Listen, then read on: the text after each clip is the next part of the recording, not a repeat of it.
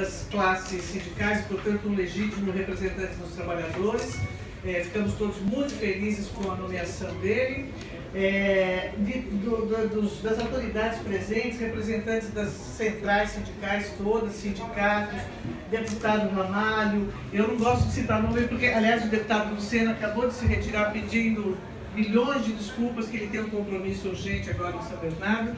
É, é, autoridades que estão na plateia, amigos que estão aqui, representantes de entidades sindicais, patronais, de trabalhadores, outras entidades que estão sempre trabalhando em parceria com o Ministério do Trabalho, enfim, uma honra muito grande para nós receber todos vocês.